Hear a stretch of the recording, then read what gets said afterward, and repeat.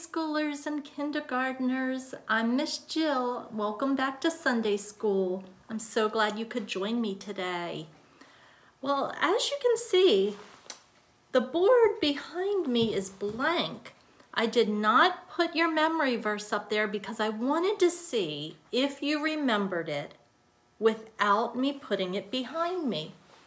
So let's see, do you remember we've been doing the same verse for a couple weeks and we have some motions and we always hold our arms up when we say the verse. Let's see, it starts with I. Do you know what it is? I'll keep giving you clues. I am. And then the next word is with. I am with. I think you got it now. Good job. I am with you always. That's our memory verse. And we've been doing the same motions for a few weeks with our memory verse, but today they have given us a few different words in our rhyme and different motions. So it's almost the same. Let's see if you can do it with me. I am with you always. Jesus says to me, I can tell Jesus what I need. Jesus cares for me. Remember last time we would do when I sleep or when I wake? Right. Well, this time we've changed it around and we've said, I can tell Jesus what I need. And we point to our mouth. Let's see if you can do that with me. We'll do it two times. I am with you always, Jesus says to me. I can tell Jesus what I need. Jesus cares for me. Good job. Let's try it one more time. I am with you always, Jesus says to me. I can tell Jesus what I need. Jesus cares for me. Good job. We'll try that at the end of our lesson too and see how you do with it. Well, I have a little story to tell you, like a fable. Have you ever heard of the word fable? Okay, it's a story and we can learn something from this. And I need you to do some motions. So I need you to stand up. I'm not gonna stand up or you won't see my head if I go above the camera. But when you hear the word bunny, I want you to hop like a bunny. So just jump up and down right where you are. And when you hear the word turtle, I want you to get down on the ground and crawl really slow like a turtle. Okay, so the bunny hops and the turtle moves really slow. So stand up and listen to me as I read you this story. Once upon a time, there was a bunny who hopped very fast. He was always telling his friend the turtle, You're too slow. One day the turtle said, I'm not too slow. Let's have a race. I can beat you. The bunny agreed to the race. A race course was set and all the animals came to watch. It was time to begin. The fox cried, on your mark, get set, go. The bunny hopped down the road as fast as he could. When he was far ahead, he lay down to rest on some grass and he fell asleep. The turtle slowly crawled along the course he passed the sleeping bunny and crossed the finish line.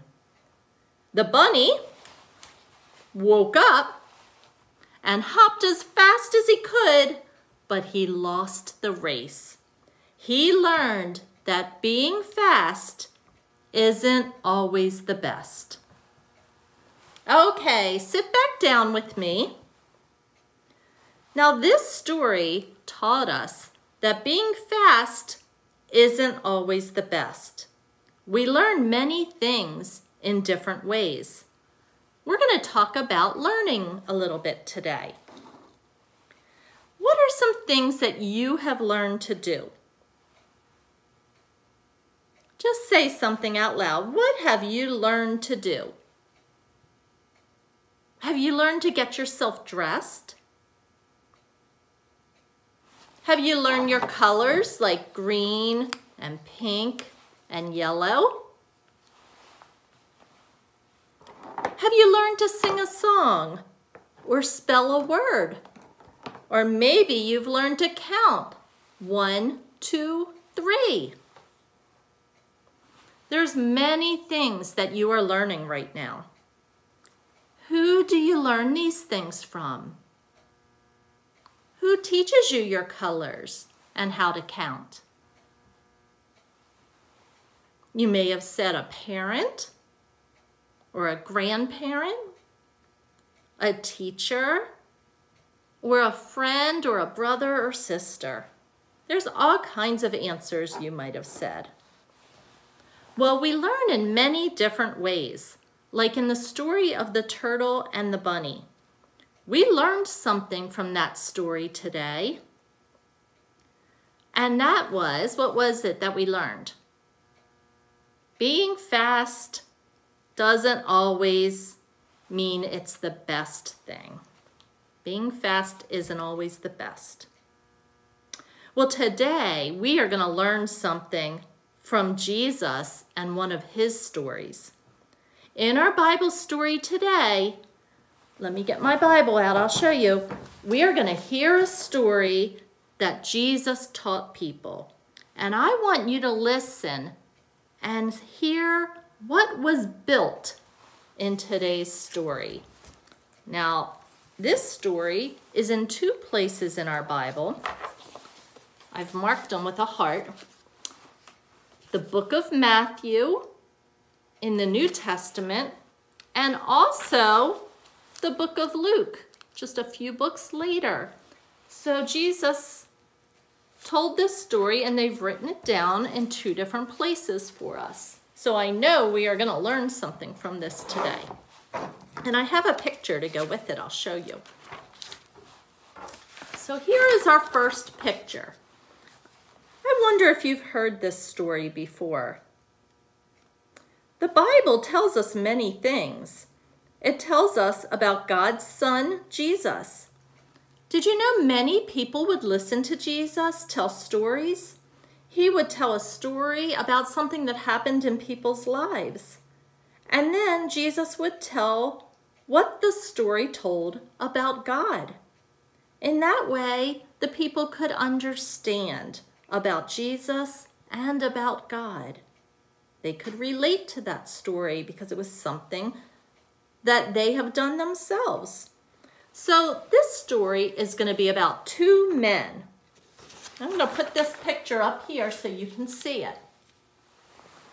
Okay? Can you hold up two? There are two men in this story and two houses. The first man was very wise. He knew that he needed a good place to build his home. So he dug a deep hole on a big solid rock to build his house.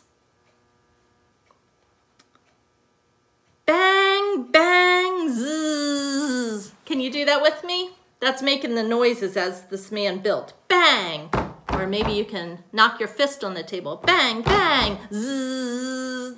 I'm not sure what that noise is. But he was working hard and long to build a nice house for his family. And here it is, right up here. Okay, you can see he built it on some rocks. And one day a great storm came. It rained so hard can you flutter your fingers down like rain? The wind blew and the water came up. But because the man's house was built on a solid rock, it did not fall down. Okay? It stayed firm on the rock. Well, the other man also wanted to build a house, but he was foolish. He didn't look for a big solid rock to build his house on. Instead, he built his house right on the sand. Can you see that? So hit your fist on the table. We're gonna bang, bang, and zzz. I guess that's when he's sawing. He worked long and hard to build his nice house. It also looks very nice. But when the big storm came and the rain came down and the river water rose up, when that water reached his house on the sand, the house fell down. Well, Jesus said that the man who built his house up here on the big solid rock is like a man who listens to the stories that Jesus tells and remembers them and does what they teach. And we can learn from this story too. I'll move this up so you can see both pictures.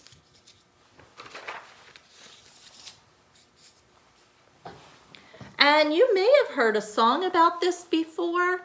You can ask your mom or dad to help you on um, your computer or whatever you're watching on because I'm also sending you a link to a song about the rock, the building the house on the rock and it has all kinds of fun motions where you're building and the rain comes down and the flood comes up. And maybe you can learn to do the motions to that song too. Let me ask you some questions about this story. What did the two men build? They each built a house, right? Mm -hmm. And what happened to these houses when the big storm came. Well, this house looks the same, doesn't it? It is still standing nice and firm on the rock. But the one that was built on the sand by a foolish man, it just fell apart when that water came up. So how did the people that were listening to Jesus tell this story, how did they learn about Jesus? What did they learn? This is kind of hard to think about. What was Jesus trying to teach the people? Well, he was saying he wants us to build our life on him. Jesus is the rock. And he wants us to have that firm foundation of believing in him and knowing his word in the Bible because that will make us wise. And then when tough things come our way, we will know who to turn to. We will know to turn to Jesus because he is our rock. And by learning all the things about him, we will trust in him. And we will be like that wise man who stood firm. His house stood firm because he knew about Jesus. Okay. Well, so this was one way that Jesus taught people. He taught them through stories that he would tell. So I hope that you enjoyed this story today and that you have learned that we should build our life on Jesus because Jesus is the rock. He is our firm foundation. Let me see, you have in your folder, okay, in your folder, you have the story that we learned today. And you can share that with your family and tell them all about the wise man and the foolish man who built their homes. And then in your Make It, Take It craft book, you have a page you can color and cut out those squares or rectangles and then you can put it together in a storybook and it's the directions are on the back for you. So your parents can help you with that. Okay? And another thing you might like to do to remember this story and to remember that Jesus is our rock so you might want to go outside and find a rock and maybe you can just sit that somewhere in your house to remind, or maybe on your porch, to remind you that Jesus is the rock. Okay, He is who we want to build our lives on. And if you don't have any rocks near you, maybe you could just get a piece of paper and you could crumble it up so it looks like a rock. And then you could just sit that somewhere in your house. And when you see it, You'll remember about the wise man who built his house on the rock and the foolish man who built his house on the sand. And I think that is it for today. We will do our memory verse one more time. And we'll try it with our new hand motions and rhyme with that one line that's different. Ready? I am with you always, Jesus says to me. I can tell Jesus what I need. Jesus cares for me.